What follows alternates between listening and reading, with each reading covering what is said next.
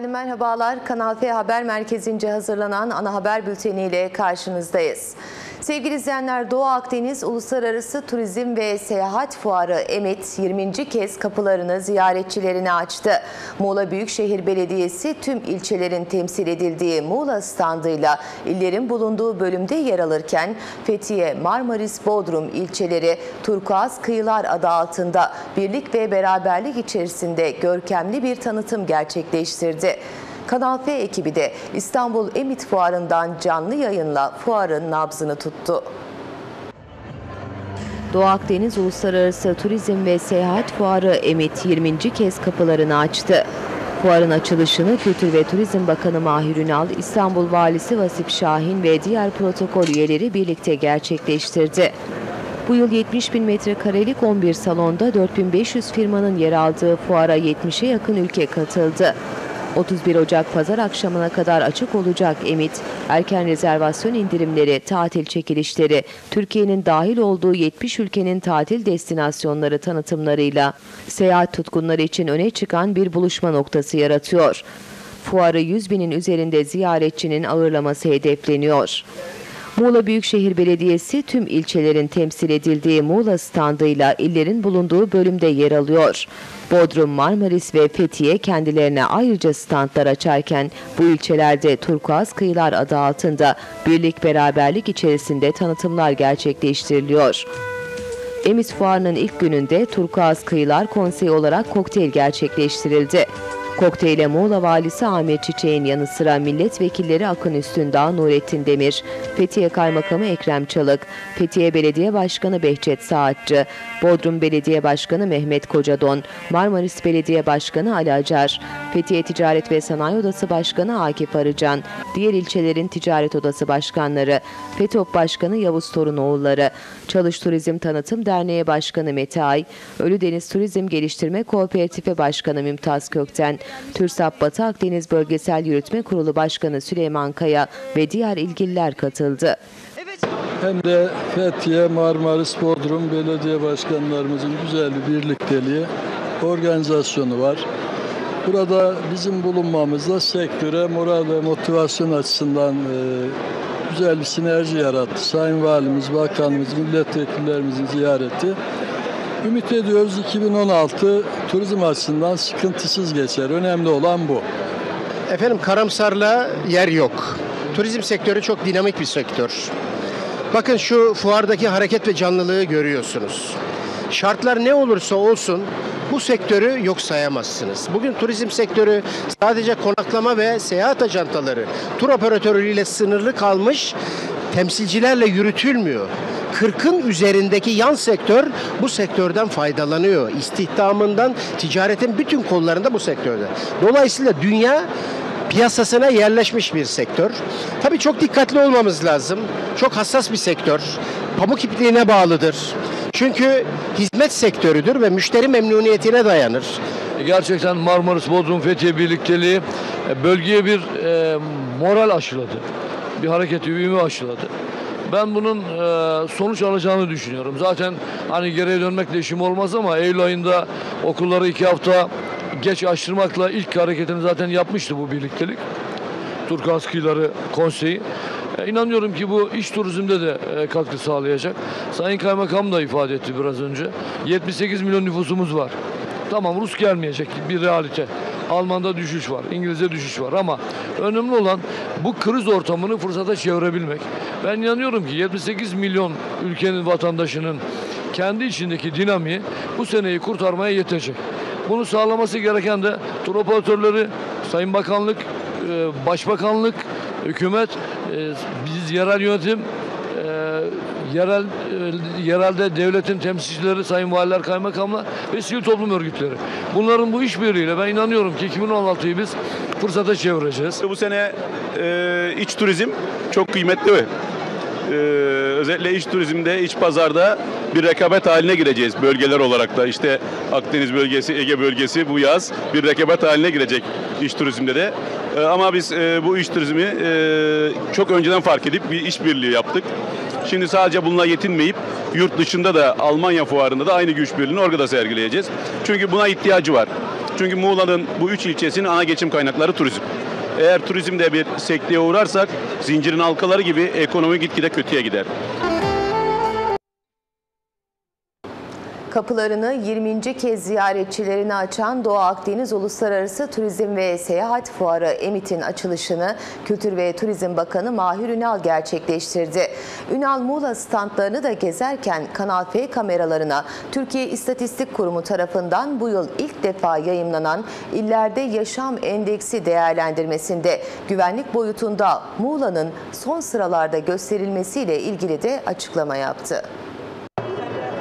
Emit Fuarı'nın açılışını gerçekleştiren Kültür ve Turizm Bakanı Mahir Ünal, Muğla ve ilçelerinin standlarını ziyaret etti. Ünal burada yaptığı açıklamada Muğla'da bir taraftan kültürel varlıkların, kültürel mirasların korunması, bir kültür ekonomisine dönüştürülmesi, diğer taraftan bunun turizmle buluşturulması konusunda bir araya geleceğiz dedi. Bir kültür ekonomisine dönüştürülmesi, diğer taraftan bunun turizmle buluşturulması konusunda belediye başkanlarımızla, teşkilatlarımızla hep beraber bir araya geleceğiz inşallah. Muğla'nın turizmini geliştirmek için ne yapabiliriz? Beraberce ortak çözüm araçları içerisinde olacağız.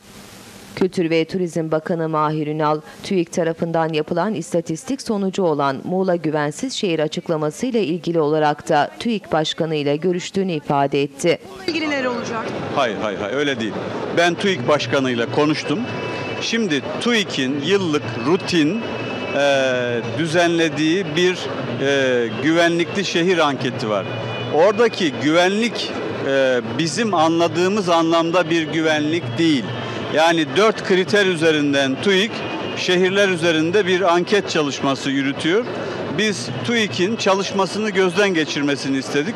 Dolayısıyla bizim anladığımız anlamda güvensiz şehir ya da turist için güvensiz şehir anlamına gelmiyor o. Çok teşekkür ederim. Rica ediyorum. Çok teşekkürler. Marmaris'te yaşayan bir hayvansever. İsmi Ayşe Öner. 5 ay önce eşiyle birlikte Marmaris'e yerleşti. Hayvansever Derneği'ne üye oldu. Sahiplerini kaybettikten sonra yemeği içmeyi kesip yaşama küsen 3 köpeğin bakımını üstlendi. Günlerce köpeklerin yanından ayrılmayan hayvansever kadın 3 köpeği yaşama döndürerek onlara ikinci kez hayat verdi. Uzun yıllar Antalya'da turizm sektöründe çalışan 46 yaşındaki Ayşen Öner emekli olduktan sonra 5 ay önce eşiyle birlikte Marmaris'e yerleşti. Hayvanları çok seven Öner, ilçede faaliyet gösteren Hayvansever Derneği'ne üye olup hayata küsen köpeklerle ilgilenmeye başladı. Annem Bakın arkadaki Nisan üç bacaklı. Görüyor musunuz? 6 ay önce 18 yaşında yaşamını yitiren sahibinin ölümüne çok üzülen, yemeden içmeden kesilen köpeği hayata döndüren Öner, daha sonra felçli halde terk edilmiş bir köpeğin bakımını üstlendi ve köpeğin hayata yeniden bağlanmasını sağladı. Son olarak 3 gün önce sahibinin ölmesiyle depresyona giren Duman isimli Golden kırması köpeği yaşadığı evden alarak rehabilitasyon merkezine götüren Ayşen Öner, sevgi ve şefkatle yaklaştığı köpeğin yeniden yemeye içmeye başlamasını sağladı. Bir tek terk edilmiş hayvanlarımızı değil, işte depresyona girmiş, özürlü veya bir şekilde kaza sonucunda e, felçli kalmış hayvanlarımızın adı gibi rehabilite etmeye çalışıyoruz ben ve ekip arkadaşlarım. Biz burada gönüllüyüz. Her gün geliyoruz. Depresyona girmiş, e, intihar meyilli olan köpeklerimiz var sahibini arayan. Onları tekrar buraya sevdiriyoruz. Onlara sevgilerimizi veriyoruz. Buraya tekrar kazandırıyoruz. Ve onların burada çok mutlu bir yuva sağlamaya çalışıyoruz. Sakat, özürlü köpeklerimiz var. Yürüyemiyorlardı. Burada onlarla göstermiş olduğunuz ilgilerden dolayı yavaş yavaş adım atmaya başlıyorlar. Ve bu bizi inanılmaz çok, çok mutlu ediyor. Dolayısıyla e, bir tek hayvan barınağı değil, hakikaten sevgi dolu bir yuva haline getiriyoruz biz Marmaris barınağımızı. Evet, Duman e, ve köpük e, aynı hikayeye sahipler. Sahipleri vefat etmiş. Dolayısıyla e, köpük köpük için söyleyebilirim. Barınağı terk edilmiş. Dolayısıyla sıcak yuvasından ve sahibinden uzak, farklı bir ortamda yüzlerce köpeğin arasında asla mutlu olamamış. Depresyona girmiş doğal olarak depresyon çeşitli hastalıkları tetiklemiş. Artık kendisi hayatı küsmüş ve ölmek istemiş. Ki biz tanışana kadar köpükle. Onun güvenini ve sevgisini kazandık. Sevgimizi ona aktardık.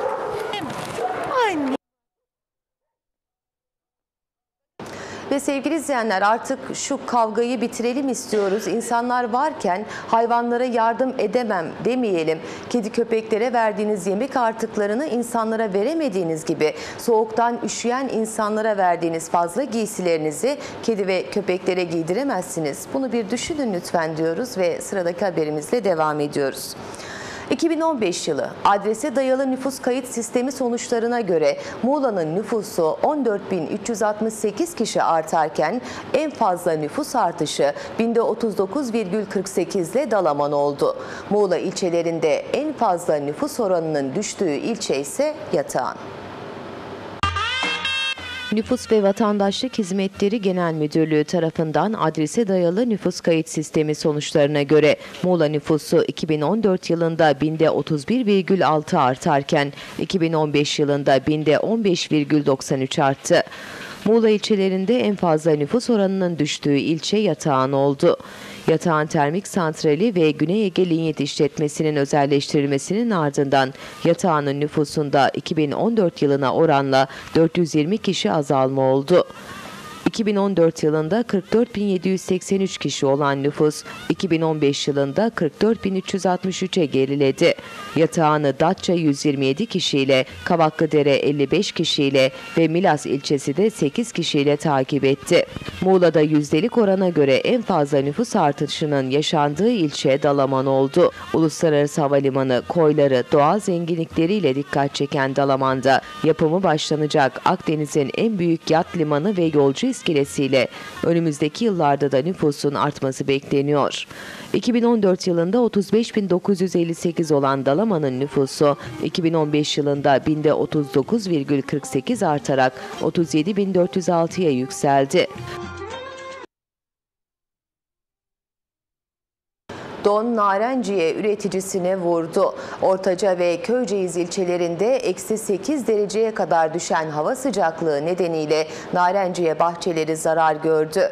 Köyceğiz'deki 45 bin hektar, Ortaca'da ise 60 bin hektarlık alandaki narenciye bahçelerinin tamamı dondan etkilendi. Köyceğiz ve Ortaca ilçeleriyle çevresinde son günlerde özellikle gece hava sıcaklığının eksi 8 dereceye kadar düşmesi çiftçiye darbe vurdu.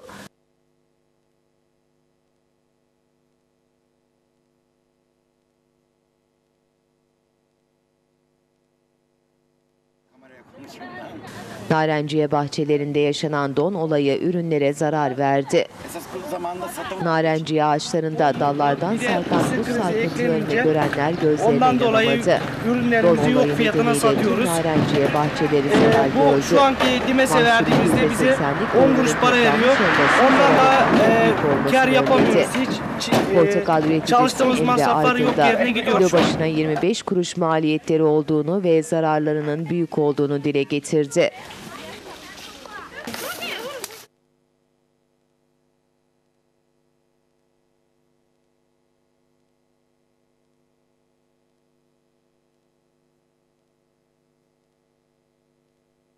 Görüldüğü gibi bu sene de geçen yıl gibi e, Ortaca Ziraat maalesef Odası Başkanı e, Salim Çöllü, Ortaca ve Köyceğiz'deki toplam dağdaki 105 bin hektar alanda narenciye üretiminin ortalama sene 200 bin ton olduğunu belirtip bir haftadır devam eden soğuk hava bu üreticisini perişan etti. vurdu. Zarar gören ürünler meyve e, suyu fabrikalarına gönderiliyor Bizim dedi. tavsiyemiz devamlı çiftçilerimize e, sigorta yaptırmaları ve Tarsim'e e, sigorta yaptırarak zararlarını bir nebze olsun e, azaltmaları. Ama e, bu da tabii maddiyata dayandığı için çiftçilerimiz genelde yaptıramayanlar bayağı zarar gördüler bu senede. Bayır Bucak Türkmenleri için başlatılan yardım kampanyasında AK Parti Muğla İl ve İlçe Teşkilatları tarafından toplanan iki tır yardım malzemesi düzenlenen törenle yola çıktı. Tırlar dualarla uğurlandı. AK Parti Genel Merkezi tarafından Bayır Bucak Türkmenleri için başlatılan yardım kampanyasında Muğla İl ve İlçe Teşkilatları tarafından toplanan iki tır yardım malzemesi Muğla'da düzenlenen törenle yola çıktı.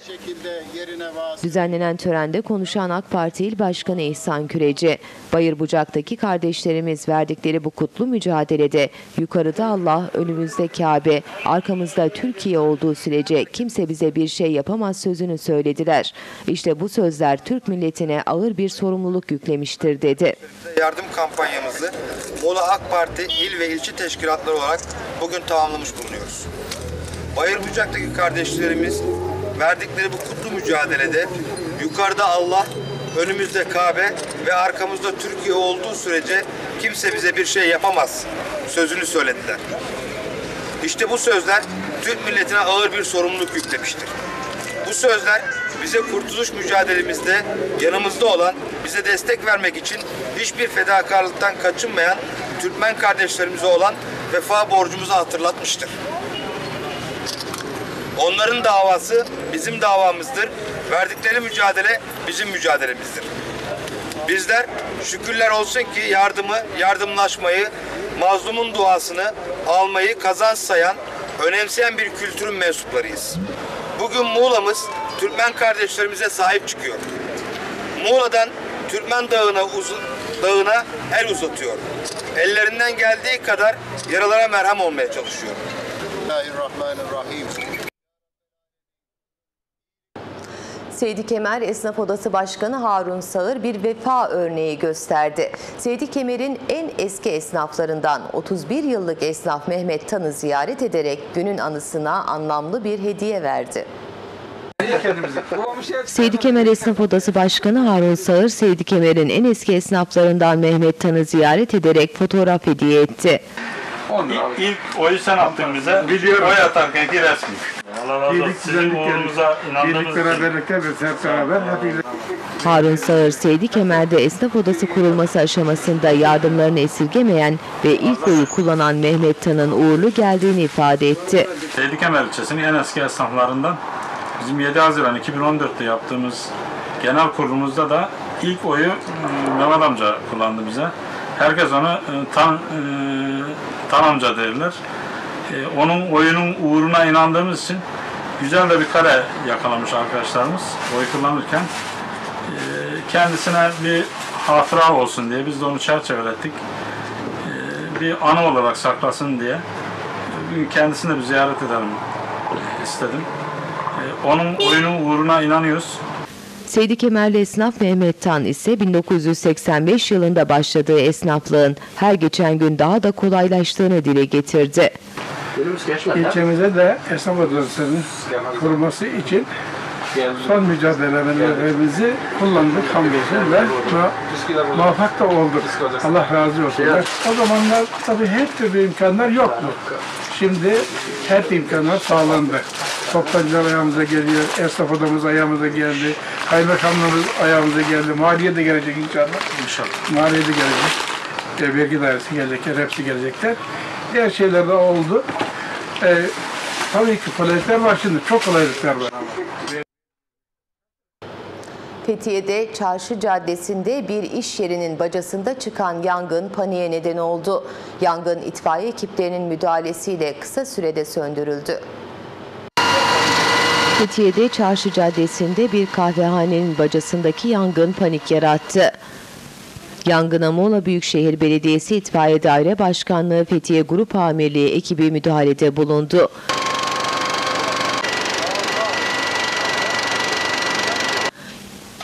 İtfaiye ekipleri anında müdahaleyle kabaran dumanı bastırarak yangını söndürdü.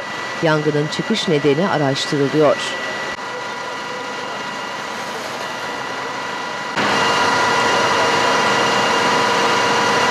Yangın yangın. Neyden çıkmış?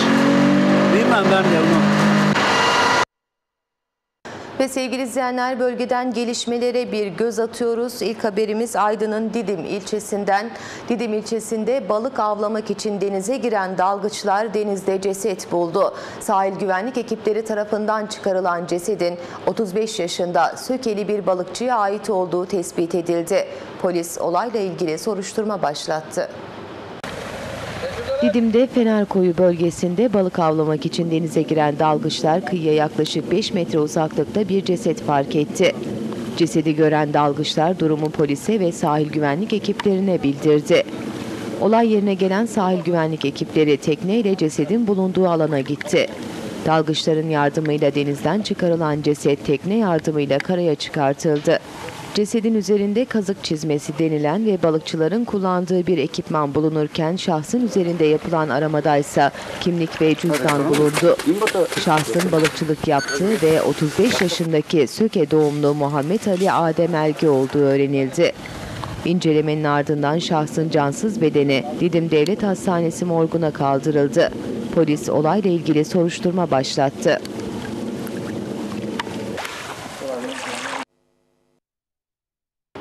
Burdur'da durak ve tarife dışı indirimli yolcu taşıdığını iddia ettikleri meslektaşlarına tepki gösteren taksiciler yetkililerin de konuya duyarsız kaldığını savundular. Biz kanun çerçevesinde çalışmak istiyoruz diyen taksiciler mağduriyetlerini dile getirdiler. Burdur'da taksiciler bazı meslektaşlarının belediyenin taahhütnamesine aykırı şekilde durak ve tarife dışı yolcu taşımacılığı yaptığını öne sürdü. Meslektaşlarına tepki gösteren taksiciler yetkililerin de konuya duyarsız kaldığını savundu.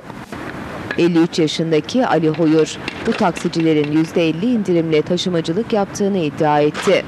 her zaman yasal haklarımıza e, çerçevesinde çalışmaya çalıştığımızdan dolayı bazı bizi e, yanlış değerlendirmeler oldu. Şurada gözüktüğü gibi ben belediyenin bize imzalatılmış olduğu, bütün takside imzalatılmış olduğu taahhütnameye istinaden 13. 14. maddesi bunları belediye kendisi bize imzalattırıyor. Burada örneğin e, belirten taksi durağı dışında şehir içi güzergahlarda korsan ve gelişi güzel çalıştırmayacağıma, yolcu fiyat tarifesine, e, listesine aynen uyacağıma, yolcu bindikten sonra taksimetre çalıştıracağıma diye bu taahhütnameyi belediye bize verdi. Biz bununla imzaladık, taahhüt ettik.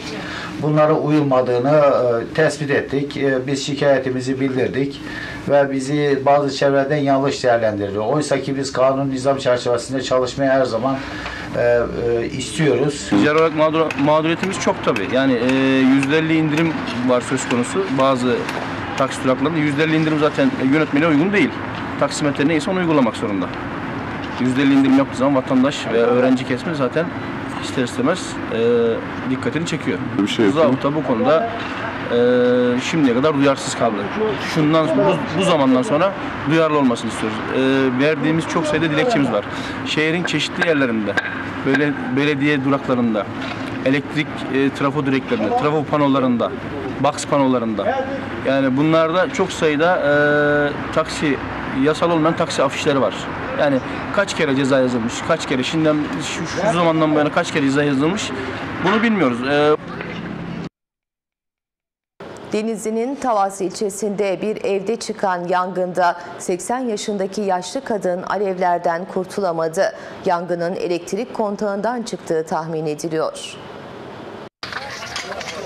Denizli'nin Tavas ilçesinde çıkan bir yangında yaşlı kadın hayatını kaybetti. Elektrik kontağından çıktığı tahmin edilen yangından bir anda ev alevlere teslim oldu.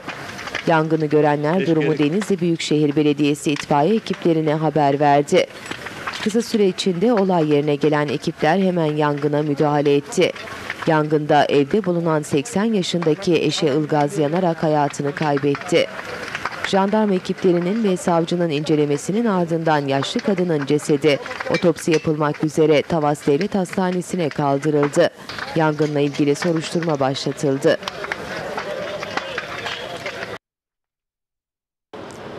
191 yıllık tapu kayıtları Manisa'da halen vazgeçilmeyen bir kaynak. Osmanlı döneminden kalan 191 yıllık tapu zabit defter kayıtları Manisa'daki kadastro çalışmalarında ilk yararlanılan kaynaklardan biri olmasının yanı sıra aynı zamanda olası miras tartışmalarında çözüm sağlamasıyla büyük kolaylık sağlıyor. Osmanlı döneminden kalan 191 yıllık tapu zabit defter kayıtları Manisa'daki kadastro çalışmalarında ilk yararlanılan kaynaklardan biri olmasının yanı sıra aynı zamanda olası miras tartışmalarında çözüm sağlamasıyla büyük kolaylık sağlıyor. Osmanlı Devleti'nin 1825 yılından itibaren tutmaya başladığı belirtilen tapu zabit defter kayıtları tarihin yanı sıra arazi anlaşmazlıklarına ve miras davalarına da ışık tutuyor. Osmanlı e, tapularımız e, Manisa'daki t- taşınmazların altlığını oluşturuyor. E, İlk yapılan e, kadastro işlemlerinde ve kadastroyu yapmadan önce tüm Osmanlı kayıtları taranarak o köye ait kayıtlar çıkartılıyor ve daha sonra da bu kayıtlar üzerinden kadastrolar yapılıyor. Yani e, Manisa'mızın e, temelini oluşturan tapuların dayanağı bizim Osmanlı kayıtlarımız. Tabii bu kayıtlarımız e, hepsi, hepsi Osmanlıca tutulmuştur ve 1932 yılından sonra e, tutulan defterlerimiz yeni alfabemizde e, tutulmaya başlanmıştır. Osmanlı tapu defterlerimiz Hicri 1241 yılına yani miladi 1825 yılına tekabül etmekte olup e, Manisa'mızın tapu kayıtları bu tarihten itibaren tutulmaya başlanmıştır. 1932 tarihinden sonra yeni alfabemize göre zabıt defterlerimiz devam etmekte. Bu Türkçe zabıt defterimiz. Ve sevgili izleyenler spor haberleriyle devam edeceğiz.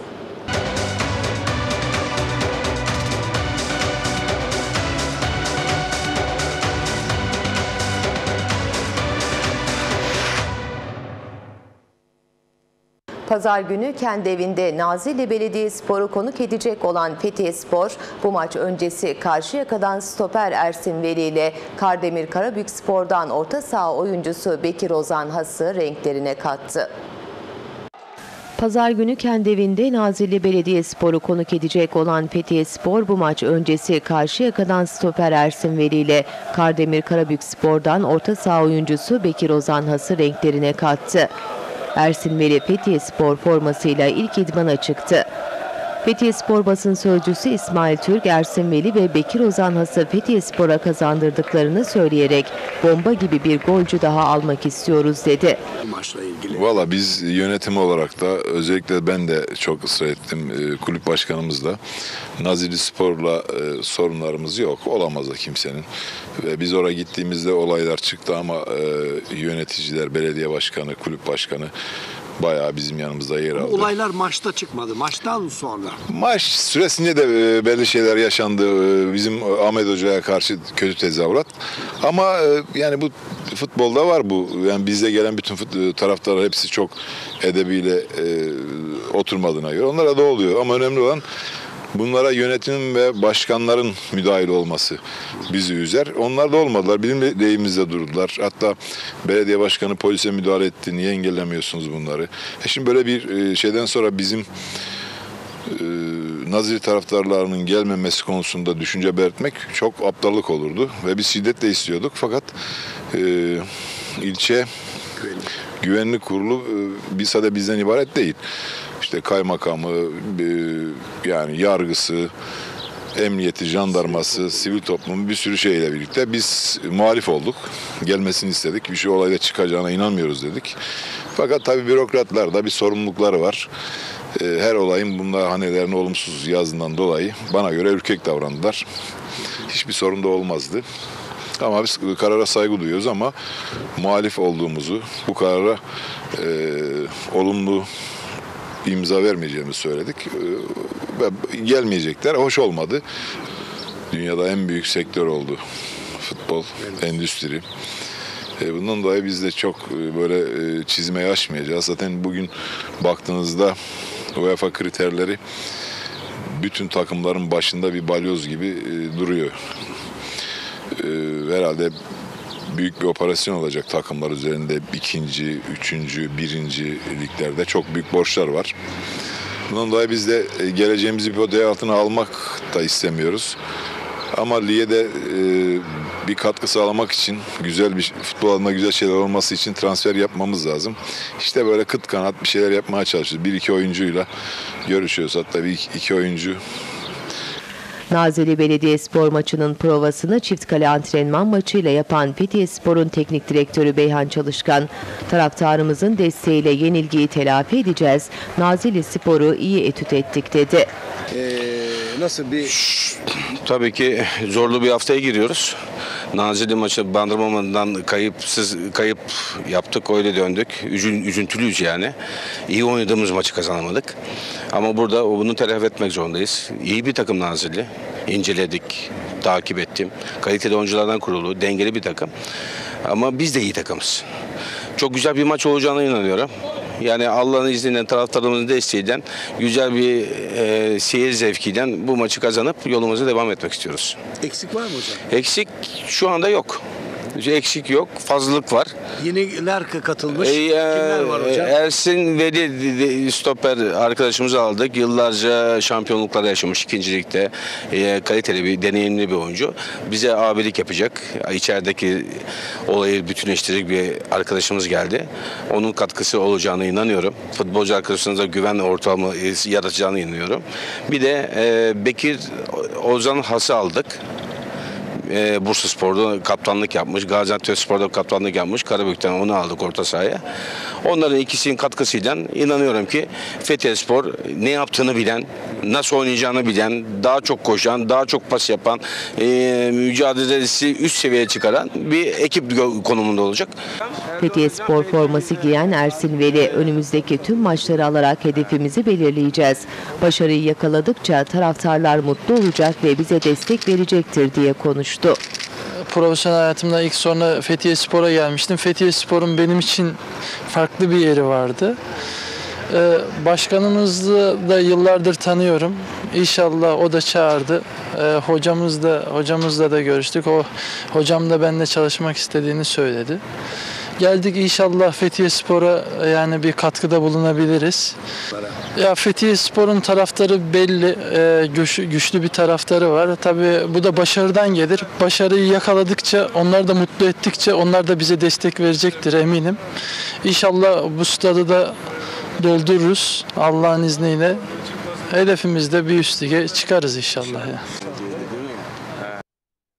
Sevgili izleyenler sizleri kıssadan hisseyle baş başa bırakırken biz de bu akşam haber bültenimize burada noktayı koyuyoruz ve yarın daha güzel haberler vermeyi umut ediyoruz. Hoşçakalın.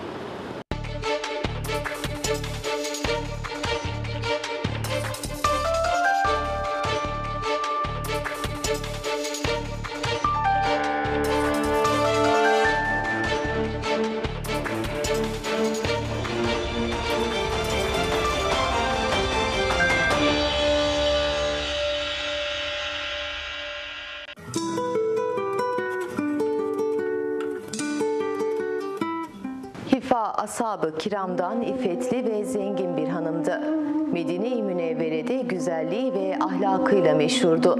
Tevekkül sahibi, kazaya rıza gösteren ve Resulullah Efendimiz'e ziyadesiyle bağlı olup sözünden hiç çıkmayan bir sahabiydi. Ahireti çok düşünüp aklından hiç çıkarmaz, onun için çalışır, salih ameller işlemek için uğraşırdı. Hifa bir gün Resulullah Efendimiz'e gelerek ''Ya Resulullah beni cennete götürecek bir iş öğret'' dedi. Bunun üzerine Resulullah önce biriyle evlenmen lazım. Bununla dininin yarısını emniyete alırsın buyurdu. Bu emir üzerine ya Resulullah dengim kim olabilir? Bana Habeşistan hükümdarı Melik Necaşi evlenme teklifinde bulundu. Fakat ben onun bu teklifini kabul etmeyip geri çevirdim. Hatta yüz deveyle pek çok zinetler verenler de oldu. Onları da kabul etmedim. Bugünse kurtuluşun evlenmekte olduğunu buyuruyorsunuz. Ya Resulullah kimi beğenip uygun görürseniz ben ona razıyım dedi.'' Resulullah Hifa'ya yarın sabah mescide en önce kim gelirse onunla evlen buyurdu. Sonra Resulullah ashab-ı kirama yarın sabah mescide kim en önce gelirse bu kadınla onu evlendireceğim dedi. Ashab-ı kiramın hepsi bu duruma razı oldu. Allahü Teala bunu işitenlere öyle bir uyku verdi ki biri hariç hiçbir sahabe erken uyanamadı. Resulullah ise ilk önce kimin geleceğini merakla bekliyordu. Birdenbire Hazreti Süheyb göründü. Süheyb kimsesi olmayan, fakir, rengi siyaha yakın, görünüşü güzel olmayan, zayıf ve çelimsiz bir sahabiydi. Hifa ise son derece asil ve zengindi. Resulullah namazdan sonra Hifa'yı çağırdı ve durumu bildirdi.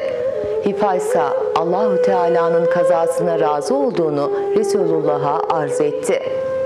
Bu durum üzerine Resulullah hutbe okudu, nikah akdi yapıldı ve akabinde şöyle buyurdu. Ey Süheyb kalk bu hanımın için bir şey al. Oysa ya Resulullah dünyalık olarak bir dirhem gümüşüm bile yok diye karşılık verdi. Bu arada Hifa emretti. 10 bin dirhem gümüşlük bir kese getirdiler, Süheyb'e verdiler ve ona git gerekli olanı al dediler. Resulullah da ey Süheyb hanımının elini tut onu evine götür buyurdu. Ya Resulullah benim evim mescittir hangi eve götüreyim diye sordu. Bunun üzerine Hifa şöyle cevap verdi. Konağımı sana bağışladım. Oraya götürebilirsin. Resulullah bu duruma çok memnun oldu ve ikisine de dua etti. Ashab-ı kiram da bu hareketi çok övdüler ve Allahü Teala'ya hamd ettiler. Daha sonra konağa gidildi ve yemek yenildi. Yemek bittiğinde Hifa, ey Süheyb bil ki ben sana nimetim, sen bana mihnetsin. Sen bu nimete şükür, ben bu mihnete sabır için gel bu geceyi ibadet ve taatle geçirelim. Sen şükür ediciler, ben de sabır ediciler sevabına kavuşalım. Çünkü Resulullah Efendimiz cennette yüksek bir çardak vardır. Bunda yalnız şükredenler ve sabredenler bulunur buyurdu. O gece ikisi de ibadetle meşgul oldular. Cebrail aleyhisselam geceki durumlarından Resulullah Efendimiz'i haberdar etti. Cennet ve cemali ilahiyle müjde verdi. Süheyb sabah mescide geldiğinde Resulullah Efendimiz de buyurdu ki Ey Süheyb geceki halini sen mi anlatırsın ben mi söyleyeyim? Siz söyleyin ya Resulullah diye cevap verdi. Resulullah Efendimiz durumlarını ve ne yaptıklarını onlara bildirdi ve sonra şu müjdeyi verdi. Siz cennetliksiniz ve orada Allahü Teala'yı göreceksiniz. Süheyb sevincinden ve cennette Allah'ı görmek müjdesine kavuşmak için başını secdeye koydu ve şöyle dua etti. Ya Rabbi eğer beni mağfiret etmişsen günahlara bulaşmadan ruhumu al.